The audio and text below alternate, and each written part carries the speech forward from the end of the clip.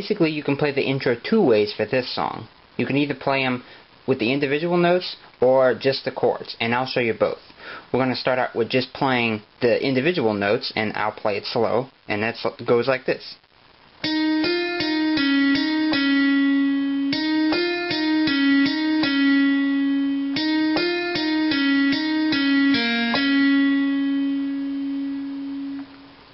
For the chords, it's going to be C sharp, A flat, E flat minor, F sharp,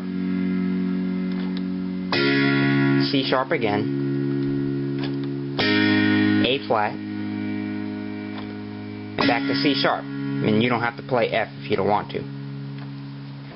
You can do fill-ins to fake play the individual notes with just doing the chords. And the way I do it is, I'll show you first slowed down.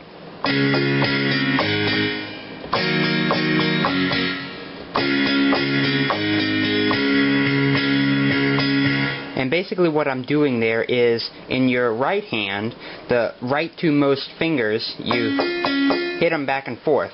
And with your thumb and the root bass note, you have a constant rhythm there. So it's and you get the hang of it if you practice on that. For the verse, you play the same four chords that I showed you for the intro. That's C sharp, A flat, E flat minor, and F. And you do all four of those four times with minimal uh, pedal. Then you do B, C sharp, back to B, C sharp again, then pause. Then you get into the chorus, that's E flat, A flat, B flat, C minor, A flat, B flat, C minor again, a flat again, and B flat again. Then F minor, E flat, and G in the bass, A flat, and then you go back to the intro, it starts in C sharp. When you get into the bridge intermission, as you're on the A flat, you stay at that a little longer than before, then you go B flat, C minor, and A flat, and do all three of those three times, and sounds like this.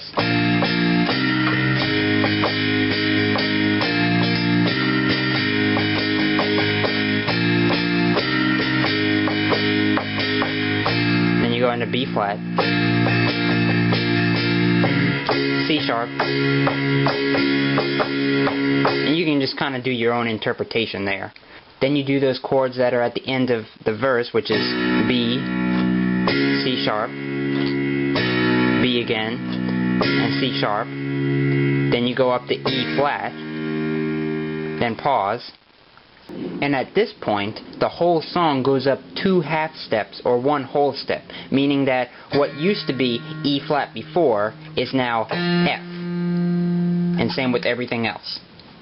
Now you're in the chorus for the third time, and it starts in F instead of E flat like it did before, B flat, C, D minor, B flat, C, D minor again, B flat again, and C again. Then do G minor 7, F and A in the bass, and B flat. And you do all that twice, but on the second time, as you're in the G minor 7, you stay at that a little longer than before, and quickly do F over A, then get into B, and finally end on F. And that's it.